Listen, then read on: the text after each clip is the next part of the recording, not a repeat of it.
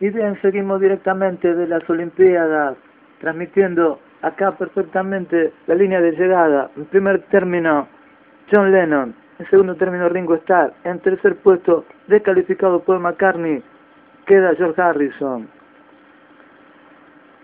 Continuamos directamente del estudio.